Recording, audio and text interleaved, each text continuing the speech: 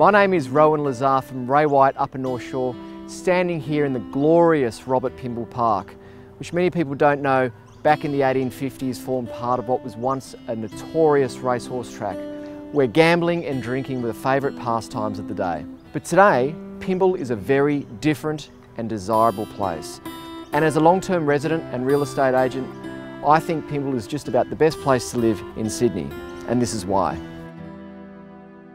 Quiet tree-lined streets with impressive houses are the norm in Pymble, with nature on your doorstep at every turn. Average block sizes are some of the largest in the city at over 900 square metres with limited development and low crime rates.